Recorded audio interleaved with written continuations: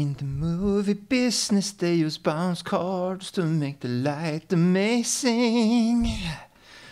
Hey everyone, uh, Jono of Nornware here, and it's time again for some good old rock and roll. No, it's time again for some Space Beast Terror Fright development videos. Um, recently, I joined. Um, a little bit embarrassed about this, but recently I joined one of my community servers, or one of the existing community servers for Space Beast Terror Fright, um, uh, which is a great bunch of people. Um, I don't know why I I don't know why I've taken so long to get like on Discord and, and you know get into that sort of whole modern aspect of gaming. But um, I guess thank you to BS for dragging me kicking and screaming onto Discord. One thing led to another. Now I'm on this server. Uh, you know, it's been about a week or so. Um, actually talking to my, uh, you know, in real time in voice chat, talking to my uh, to some of my users and, you know playing games with them and you know getting tons of bugs report bug reports and things like that. And it's been it's been really positive.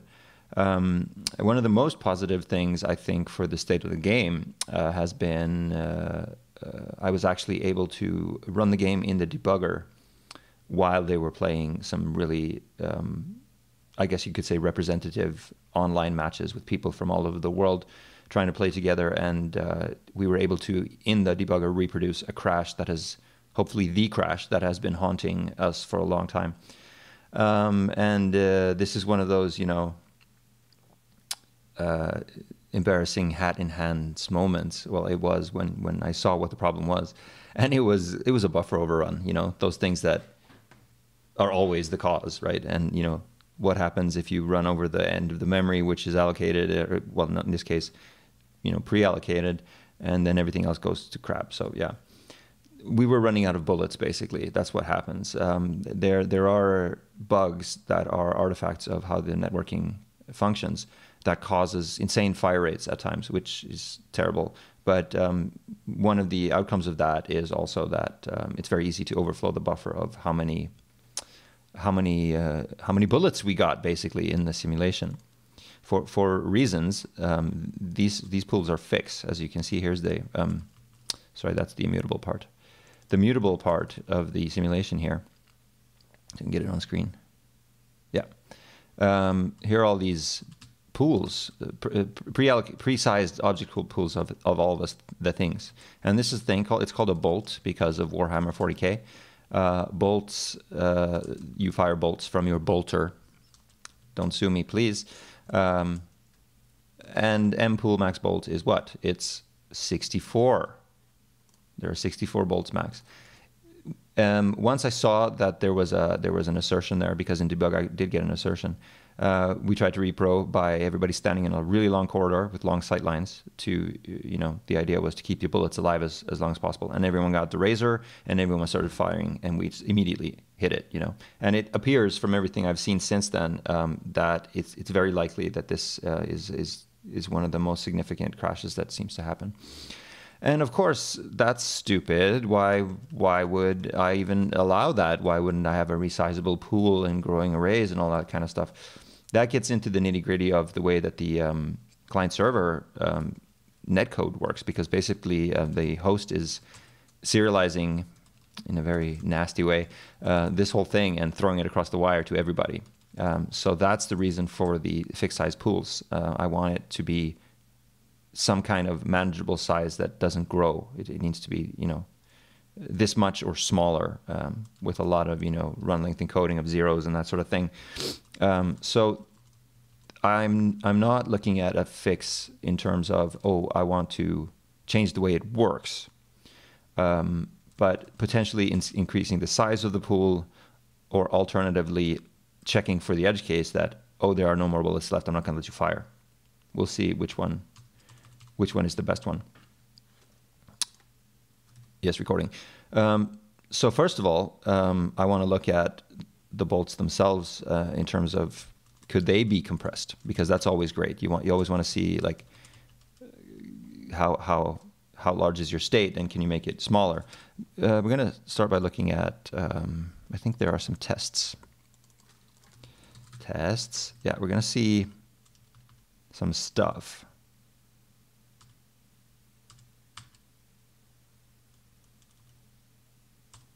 We're gonna we're gonna start the game.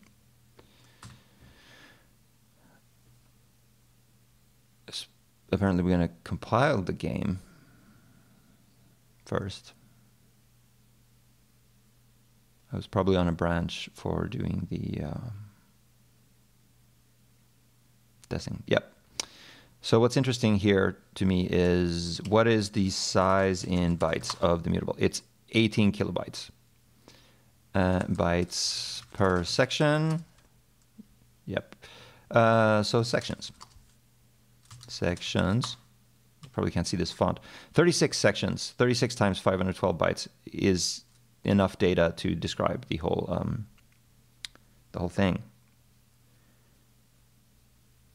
So remember that 18288. I'm going to remember that. Let's let's copy that and uh, put it up here under pool overflow. 1828 uh, pre changes bytes m mutable t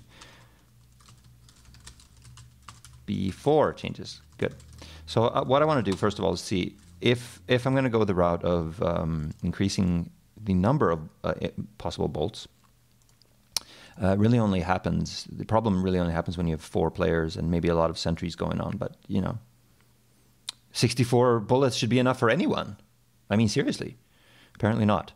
Uh, so let's look at the actual thing. So a bolt, what is a bolt? Uh, a bullet. It's it's it's got a vector, describes its motion or yeah, its speed, uh, position, 3D space. That those things are required and has a bolt owner which is this, which is an packed apparently into 32 bits, is the index of it and the sentry A. I'm sure you like that one. That's Canadian code style. I think again, Tobias Carlson turned me onto that one um, because I lived in Canada. I just like instead of is sentry, you want it to be sentry A. I think that's funny. Anyway, bit packed. So that's 32 bits. So we got um, 12 bytes, 12 bytes, four bytes, and another four bytes. That could probably be packed in an interesting way. Let's do this. So now we got 2 times 32 bits there.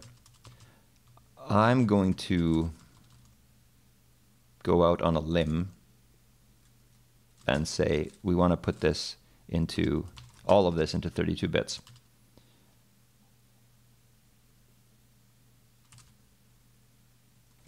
Maybe 10 bits, 10 bits, 10 bits. And then, yeah, this only, let's think about this. This only needs one bit. Is the owner a sentry? Was the owner a sentry? That's for, that kind of information is for tracking like who killed who and who, who shot what scientist, whatever. Um, so that's, that's an, a bit is fine there. Owner index, 10 bits.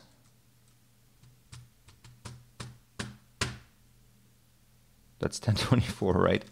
Oh God uh, programmer. So one left shift 10, that's 1024. That's not enough because that index is, is if it's not a sentry, it's used for hero. So it's zero to three, that's fine. But if it is a sentry, it's used for a, a map offset. And map offsets cells size. This is the size of the whole map. It's 1089. So I need 11 bits there. But that's fine, I think. 11 bits is What's 11 bits? Oh, you idiot. 11 bits is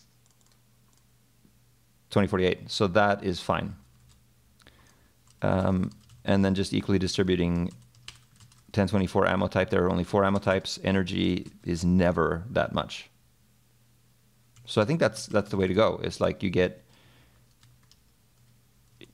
yeah, that's going to cover the um, the ranges we need and we just saved four bytes per bolt times 64, four times 64, four times 64, two, that's 256.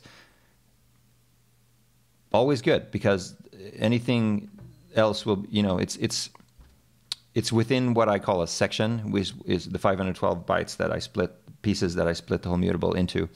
Um, but it will be zero, zero padded and, you know, it all gets compressed as well. So I think that's, that's a win. Don't use more more bits than you need to. So I think that's the first thing to do. And you run into stuff like this. Hit owner dot index equals bolt oh it bolt owner index now, and the other one is sentry A. Owner sentry A.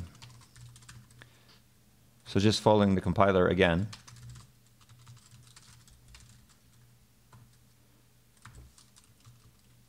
Yeah, this this is typical. Like what I'm doing here is here's some code, like what happened, you collided with a scientist. When queuing an event that says it's killed by scientists, and we need to know, was it a sentry? If it was a sentry, um, the first parameter or argument here is uh, what was the potential hero who killed the uh, scientist because we got stats on that stuff. If it was a sentry, we don't care. We just max it out so we know it's out of range for being a, a hero. Uh, if it was, if it wasn't a sentry, we do the in, the owner index will be the hero index. Um, yep. So that's that's what that stuff is for. And again, this is just one of those makes me really happy. One of those look at me look at me removing hierarchies. You know, it's owner underscore index instead of um, having you know a struct in there. So I'm liking this kind of stuff.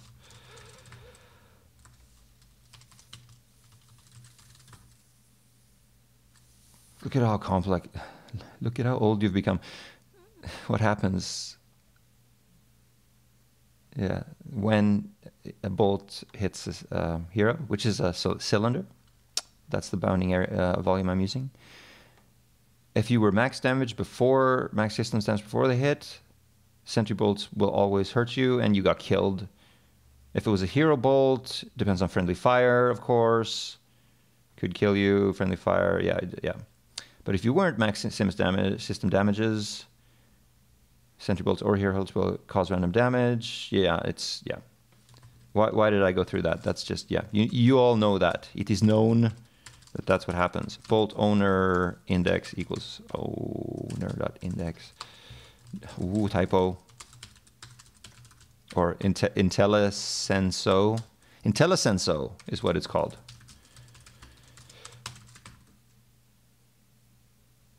Yeah, this is the thing that was exploding. Look at this wonderful C code. Um, instead of having template um, templates, I just doing it like a horrible voidy thing. I'm, I'm allocating from the pool a new new one, and this is this is the thing that exploded.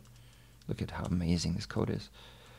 Um, this this one here is fun. This is a warning level four thing because this argument pool size only referenced in the assertions which get, which get compiled out in in release, and then you get a warning as error. Pool size is not referenced. So some of the fun, fun funnesses of going hardcore with your warnings. I'm not at warning all yet. Maybe that would be that would be really fun to get there. What is this code?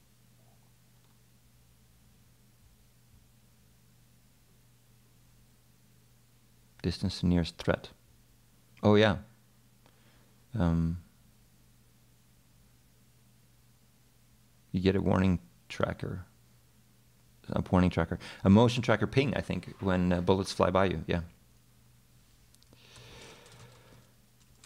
So this is just rote stuff.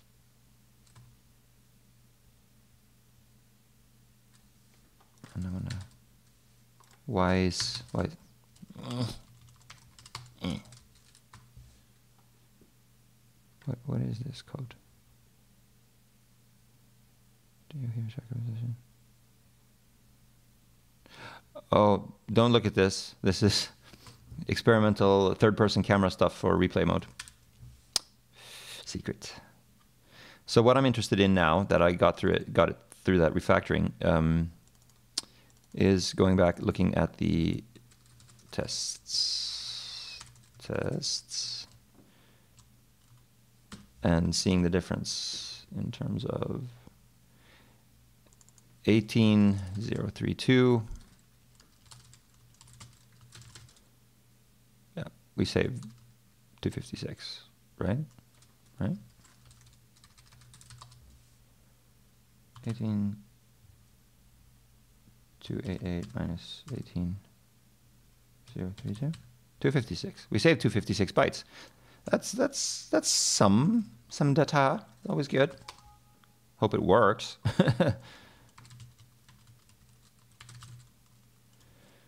uh, post uh, compressing compressing mbolt t.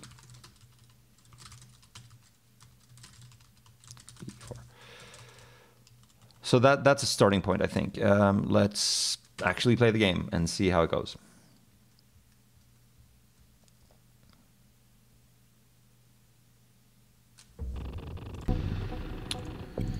I always play, almost always play randomize all because because it's uh, it's chock full of challenging choices.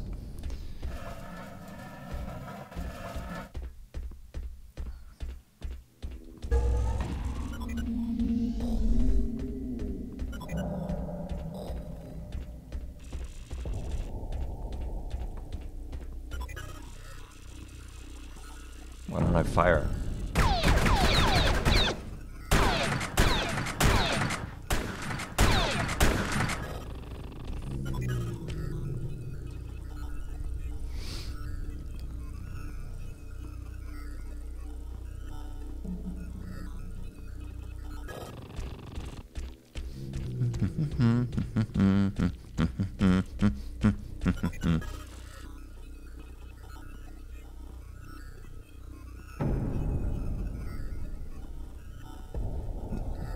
Hard to think about your YouTube face while you're, you know, doing something else. Uh,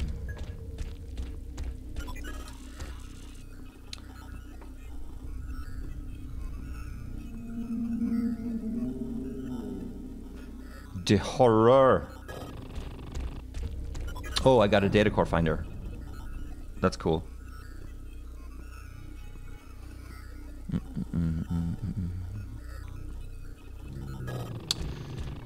For those of you who are uh oh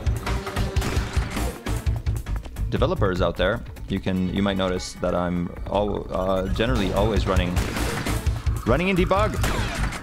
Um, oh, he was killed.